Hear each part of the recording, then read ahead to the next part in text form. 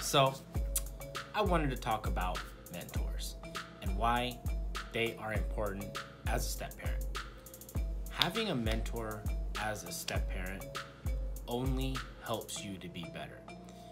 And the obvious is that they have gone through these experiences that you're going through and can help you.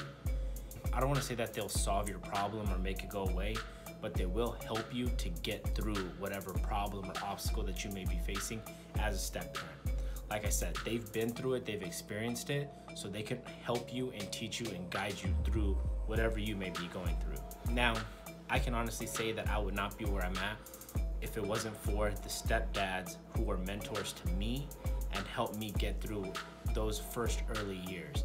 I mean, you guys heard my first story here where my daughter sneezes in my mouth, or, you know, there's just a number of other things that my mentors helped me to get through. The patience, you know, being patient with her, that was one thing. See, having something that my daughter and I do that's ours, that's something that my mentors helped me to understand and helped me to know that it's something that I needed to do.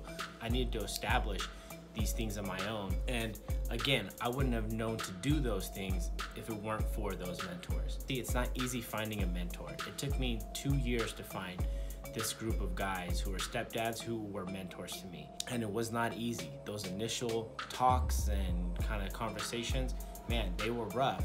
But it was these guys who I got to know, who I then trusted, who I then asked, hey, will, will you help me in this journey of being a step parent? And you know they've they've been all for it. One of those mentors invited Natalie and I to a father-daughter retreat later in the year, which I'm hoping we get the chance to go to. Now, it's always good to find a mentor you can relate to, who you see yourself as, who you maybe want to replicate because they're doing the right thing and you see that and you want to do the right thing, so that only helps. Now, like I said earlier, a mentor isn't going to help you solve your problems and experiences are different. However, they will be able to relate enough to you that they'll be able to help you through or get you through whatever it is that you may be experiencing. It may not work all the time, but it will help you to vent to someone who can relate, even though they may not have experienced whatever it is that you're currently experiencing or the obstacle or problem that you're going through. But them being a step parent, they can at least relate to that and it makes the world of difference because we may talk to someone who's not a step parent but they are a parent and it's it just doesn't connect sometimes. Not knocking them but they just can't understand where, where you're coming from as a step parent.